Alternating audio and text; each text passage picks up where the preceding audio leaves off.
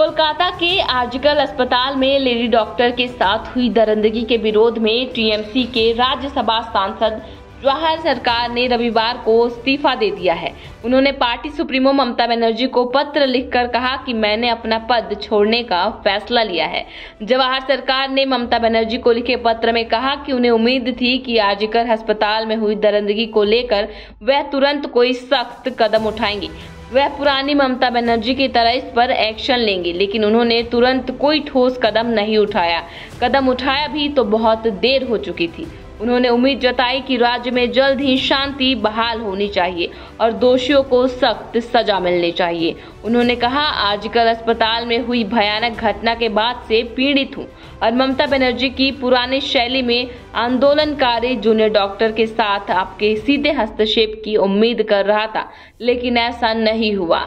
जवाहर सरकार ने अपने पत्र में कहा है कि कोलकाता में हो रहा मौजूदा विरोध प्रदर्शन, जिसने बंगाल को झकझोर कर रख दिया है वह टीएमसी सरकार के कुछ पसंदीदा लोगों और भ्रष्ट लोगों के अनियंत्रित दबंग रवैये के खिलाफ जनता के गुस्से का प्रतिबिंब है। सीएम ममता को लिखे अपने पत्र में जवाहर सरकार ने पार्टी में भ्रष्टाचार का भी मुद्दा उठाया। उन्होंने कहा कि पंचायत और नगर पालिकाओं में स्थानीय स्तर के पार्टी नेताओं ने भारी संपत्ति अर्जित की है, जिससे बंगाल के लोगों को नुकसान हुआ है। यह भी सच है कि दूसरे अन्य दलों के नेताओं ने बहुत ज़्यादा संपत्ति अर्जित की है, लेकिन बंगाल इस तरह के भ्रष्टाचार और वर्चस्व को स्वीकार नहीं कर पा रहा है। मैं जानता हूँ कि मौजूदा केंद्र शासन अपने बनाए अरबपतियों पर फल फूल रहा है। और एक दिन ऐसा नहीं जाता जब मैं उसे क्रोनोलॉजी पर हमला ना करूँ। मैं बस कुछ चीज़ों को स्वीकार नहीं कर सकता, जिसमें भ्रष्टाचार प्रमुख है उन्होंने कहा कि यकीन मानिए, जनता का ये गुस्सा कुछ खास लोगों और भ्रष्ट लोगों के इस अनियंत्रित दबंग रवैये के खिलाफ है मैंने अपने पूरे कार्यकाल में सरकार के खिलाफ ऐसा अविश्वास नहीं देखा।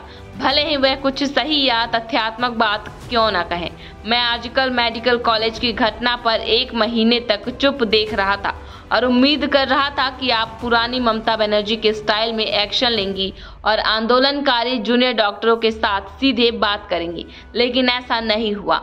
सरकार ने इस मामले में काफ़ी देर में सख्ती दिखाई। अगर सरकार भ्रष्ट डॉक्टरों के कॉक्स को तोड़कर अनुचित कार्रवाई करने वाले प्रशासनिक अधिकारियों पर एक्शन होता तो बंगाल में बहुत पहले ही सामान्य स्थिति बहाल हो जाती। उन्होंने यह भी कहा कि मैं दोहराता हूँ, जब तक ममता बनर्जी और कोलकाता पुलिस आयुक्त विनित गोयल पद से इस्तीफा नहीं देते, स्वतंत्र और निष्पक्ष जाँच संभव नहीं है। अपराध के बहत्तर घंटों तक सीएम और कोलकाता सीपी के कॉल रिकॉर्ड सार्वजनिक किए जाने चाहिए। उनकी बातचीत की, जाँच की जानी चाहिए। सच्चाई सामने लाने के लिए ममता बनर्जी और विनीत गोयल का पॉलीग्राफ टेस्ट होना चाहिए। न्याय के लिए आंदोलन जारी रहेगा। आप इस वीडियो पे क्या राय रखते हैं, कमेंट बॉक्स में ज़रूर बताइएगा। जब तक देखते रहिए जनहित टाइम्स।